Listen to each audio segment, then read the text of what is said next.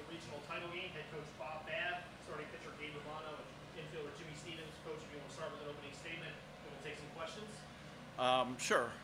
We always feel pretty good when we have Gabe on the mound. And the way our offense has been uh, performing lately and hitting the long ball, um, you know, we felt confident going in. We feel like one through nine now, now that Dylan hit a home run yesterday, anybody can leave the yard. And the biggest difference is we hit balls in the air, other teams hit balls in the ground. Um, and, you know, balls in the ground turn into double plays. Coach, after having to go to the pen a good bit yesterday, how big was it that Gabe got through nine innings? It was huge. It was huge. And Gabe, you know, let us know he wasn't feeling 100%, but he battled through. Um, he was a competitor, and you know, he mowed him down the last five innings when we really needed him to. Yeah, Gabe. So a little different than your Centennial Conference outing that you had two weeks ago. What was the difference between that start and this start, even though they were both complete games? Um, I mean, I always go in with the same mentality, just pitch to contact and let the defense work behind me. It's worked all year, so I mean, I had a couple more Ks maybe in that game, but you know, I, I think I did my job and I, I got those ground balls and you know the defense did it did the work behind me. So Jimmy, two big swings today. How are you feeling in the box?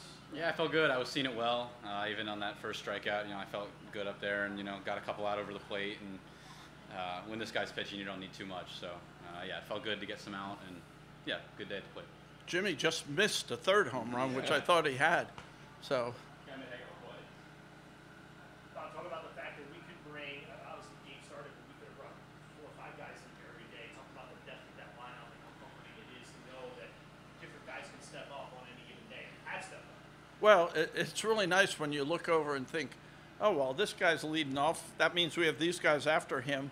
It doesn't matter. You know, we, uh, all of our guys have contributed with the bat significantly, and everyone other than Dylan is hitting over 300. And Dylan has gotten a lot of clutch hit. And all those other guys have a lot of home runs to go along with it. So, as I said, we, uh, we can score at any time when one swing of the bat. And if we get a couple walks mixed in there, then we usually uh, produce a big inning. Gabe, when you were laboring a little bit in those middle innings, how did you kind of lock back in and get those big outs to scram those guys? oh yeah, I mean, big double play to get out of that bases loaded first, and then after that, it was just getting back in the dugout, refocusing, and then and then just working on on staying down and, and letting letting the two seams sink and, and get ground balls. So I think it, it worked out in the end. So. And into the regional title game, we've obviously been here before. What's your message to the team as we prepare to win the Sunday? Well, my message is we are going to be facing bottom line pitching, which is never good against our lineup. We have theoretically our number two ready to go, so we just got to go out, relax. I tell them, go out, relax, play, play loose, play smart, but have fun, enjoy the experience, and uh, certainly they've been doing that. Yeah, this one goes to both the players. What will you guys do to prepare for tomorrow's game? Will you watch this one here? Will you go home? What do you want to do between now and then? Well, I'm done. So I'm gonna uh, kick my feet back and uh, get a good night's rest. But Jimmy yeah, might we'll prepare. we'll prepare similarly to how we did today. Uh, you know, get some scouting report on the pitcher we're seeing and.